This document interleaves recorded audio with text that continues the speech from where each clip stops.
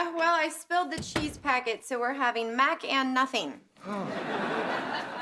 Yeah, I'll just have the Mac. Nothing gives me gas.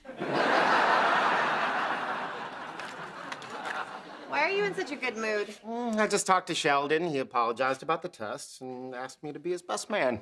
Uh, great. After all you've done for him, he should have asked you. And Amy's your best friend. I'm sure she'll come to her senses and pick you. Okay, she's not my best friend. We're not 12. She wants Bernadette to be her maid of honor. I really don't care. Sounds like you care. No, I mean, it, it's just annoying. You know, we talk every day, we see each other all the time. She's always there for me, and basically, oh my God, Amy's my best friend. You okay? No, my best friend didn't ask me to be her maid of honor. I'm pissed. I know this is your wedding and you can do whatever you want, but if you think anyone but me is gonna be your maid of honor, then you're an idiot because you are my best friend. Too late, Bernadette. Bestie!